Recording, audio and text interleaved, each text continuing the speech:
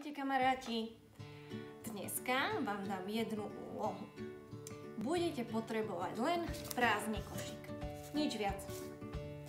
A tá úloha znie, že budete hľadať vo vašej izbičke alebo v kuchyni alebo v obývačke veci, ktoré sa začínajú na písmeno S. Všetky veci, čo nájdete na písmeno S, tak nájdete a dajte do toho košíka. Všetky. Ja som napríklad našla sviečku, solničku, tak babika mala sukňu, striekačku, srdiečko,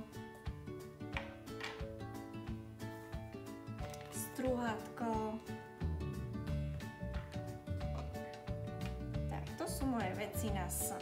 Sviečka, solnička, sukňa, striekačka, srdce, strúhatko.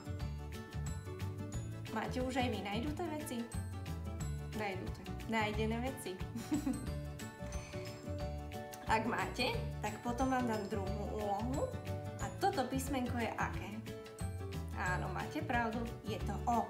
A teraz budete hľadať všetky veci, ktoré máte v izbičke alebo doma na O. Dúfam, že ich nájdete veľa. Ja som našla z Lega okno, odmerku, orech, otvárák, opicu, odznak a ovečku tu má. Takže slova na O, okno, odmerka, orech, otvárák, opica, odznak, ovca.